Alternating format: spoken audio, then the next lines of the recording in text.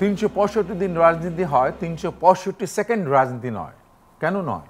রাজনীতি বন্ধুত্বে, ভালোবাসায়, পরিবারে, প্রেমে, অপ্রেমে সব জায়গায় আছে।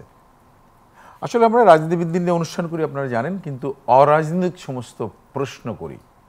এই অরাজনৈতিক প্রশ্নগুলো আমরা এখন করব।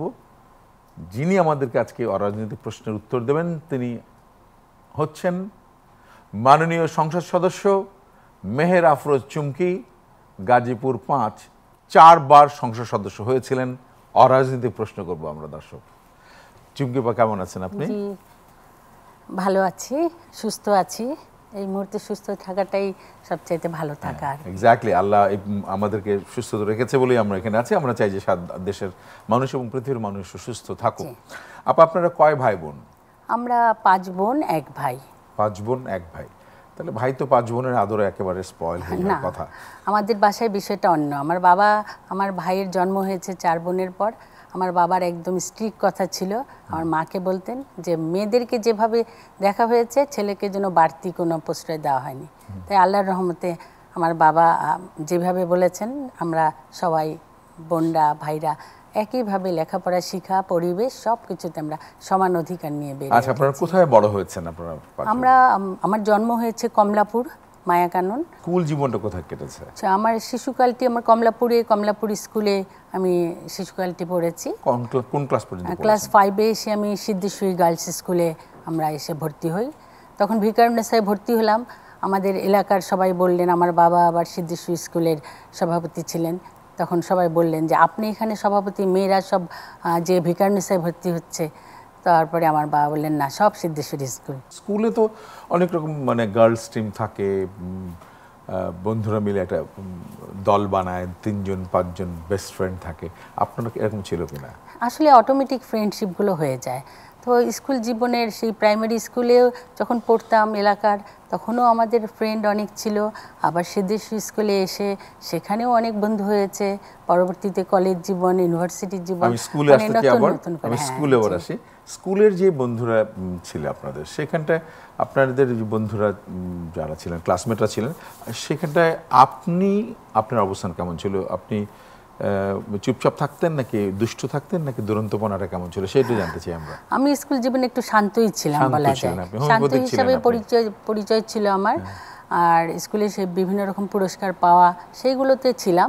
সব কিছুতেই মানে পার্টিসিপেট করতাম। খেলাধুলায় আপনি ছিলেন খুব ভালো। খেলাধুলা ছিলাম খুব ভালো বলব না পার্টিসিপেট করতাম। এখানে কোনো কোনো বিষয় যে আছে? গুল্লি মার্বেল লুডু গুলতি ক্যারাম লুডু কোনটা আপনার প্রিয় ছিল? আমার দাবা। দাবাটা আপনার প্রিয় হ্যাঁ. দাবায় আমি খুব খেলতাম কিন্তু দীর্ঘদিন ধরে আর এটার সাথে নেই। আর এটাই আনন্দ। আর লুডোটা আমার মনে হয় সেই আমলে তো সবাই কম বেশি খেলতো। আমরা একটুখানি যদি যাই আপনি কি সাইকেল চালানো শিখেছিলেন? না সরি আমি সাইকেল চালানো। শিখিনি। আপনার পাঠ্যপুস্তকের নিচে গল্পের বই পড়েছেন কিনা? পাঠ্যপুস্তকের নিচে পড়ার প্রয়োজন হয়নি এই কারণে যে আমার আমাদের বাড়িতে এই গল্পের বইটা পড়ার একটা পরিবেশই ছিল। আমাদের লাইব্রেরি ছিল। শহরে যেহেতু বড় হয়েছেন মিউনিসিপ্যাল কর্পোরেশনের বড়ই গাছ থেকে বড়ই খাওয়া বা এটা কিন্তু খুব মজা লাগে। এইগুলো আমরা খুব করেছি। আমরা কমলাপুরে যখন ছিলাম আমি কিন্তু ওই যে মুকুল ফৌজের সাথে ছিলাম। আচ্ছা। তখন আমরা মুকুল ফৌজ থেকে আমরা বিভিন্ন কাজকর্ম করতাম। এলাকা পরিষ্কার করা তারপরে স্কুল মাঠ পরিষ্কার করা এই কাজগুলো আমরা সেই সময় করতাম। সেই সময় বিভিন্ন বাসা বাড়িতে যেতাম এবং ফাঁক ফুকরে আমরা গাছটা চুরি করতাম। কারণ সবাই বলতো গাছ চুরিতে বলে কোনো পাপ নেই। পাপ নেই। চুরি- করা গাছ নাকি অনেক ভালো হয়? সেটা আমি আমি শুনে আমি সেই কাজটা করতাম। এখন আমার বাসায় কেউ যদি আসে আমি তাদেরকে বলে দিই যে দেখো চুরি করে গাছ নেওয়া যায় কিন্তু আমার বাসা থেকে নিবানা খবর দেয় ভেরি গুড আপনি তাহলে ছোট্ট মিষ্টি চোর ছিলেন। যাই হোক আপনি কি কখনো আপনার মায়ের কাছ থেকে টাকা সরাতে হয়েছে? যে বান্ধবীদের খাওয়ার জন্যে? আসলে সেটা করিনি কিন্তু চুরি টাকা চুরি করার ওই চিন্তা মাথায় কখনো আসেনি। তবে চাইলে পেতাম। আর তবে ওই যে আপনার ওই পুতুল নিয়ে খুব খেলতাম তো পুতুলের শাড়ি টাড়ি বানানোর জন্য মায়ের শাড়িও অনেক সময় কেটে ফেলেছি। ভুল করে ভাবতাম মা টের পাবে না আঁচলের দিক থেকে কেটে শাড়ি বানিয়েছি পরে আমার মা তো হুলুস্তুল যে এই শাড়ির আঁচল কে কাটলো কোথায় গেল ভয় পেয়ে গেল যে আঁচল কেটে কি জানি কি হলো। এইগুলো করেছি মানে কি সুন্দর ভাবনা না? কত সহজ সরল ভাবনা হ্যাঁ। যে যে এত বড় শাড়ি হ্যাঁ এত বড় শাড়ি আমি তাও ভেতর দিয়ে কাটতাম একদম আঁচল থেকেই কেটে নিলাম।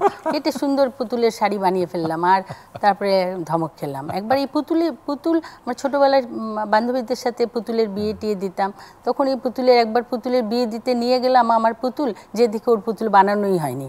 পরে একটা ছোট্ট কুকুর পুতুল ছিল ওর ওটাকে বসিয়ে দিল যেটার সাথে আপাতত বিয়েটা হয়ে যাক পরে আমার পুতুল বানিয়ে দিব। মানে ছোটবেলায় এইসব খুব আনন্দ করতাম আর কি। দর্শক আমরা আজকে এই পর্যন্তই পুতুলের বিয়ে। আমরা আপার বিয়ে এবং অন্যান্য বিষয় নিয়ে আগামীকাল আবারও আপনাদের সঙ্গে দেখা হবে। ভালো থাকবেন, সুস্থ থাকবেন এবং আমাদের নেত্রী বলেছেন যে মাস্ট মাস্ক মাস্ক পরবেন, স্বাস্থ্যসম্মতভাবে চলাফেরা করবেন। আজকে এ পর্যন্তই শেষ। আগামীকাল আবারও দেখা হচ্ছে চুমকি আপাকে নিয়ে।